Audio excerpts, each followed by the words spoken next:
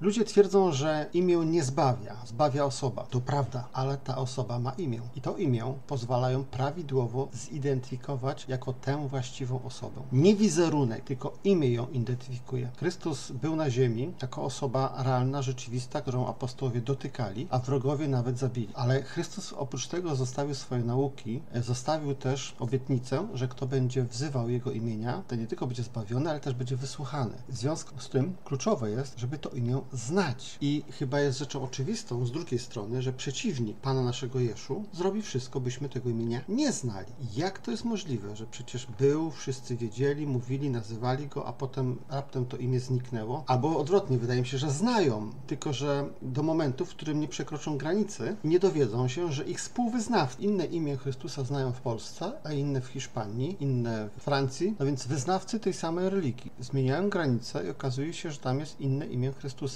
Te osoby powinny sobie zadać pytanie, czy aby na pewno znają to